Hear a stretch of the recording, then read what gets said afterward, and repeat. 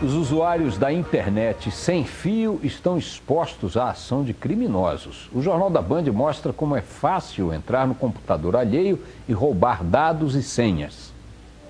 Acesso rápido em qualquer lugar.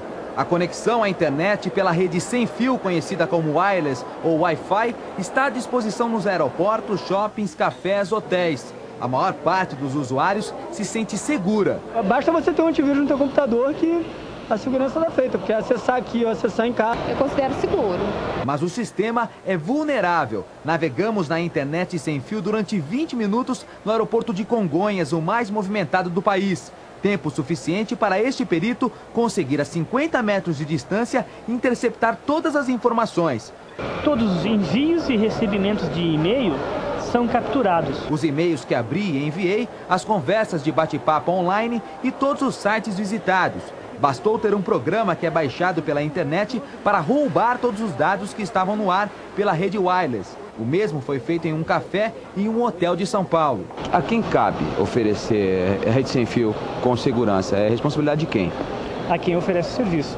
Hoje existe tecnologia suficiente. A fragilidade do sistema está na criptografia usada para proteger as informações. As operadoras que oferecem o serviço jogam a responsabilidade pela proteção para os usuários. Pelos contratos que as pessoas assinam quando elas têm acesso ao, à rede sem fio, aquele ok que nós damos, a responsabilidade é inteira do usuário. Os especialistas em segurança eletrônica dizem que hoje não há como provar se uma pessoa teve informações roubadas durante o uso da rede sem fios.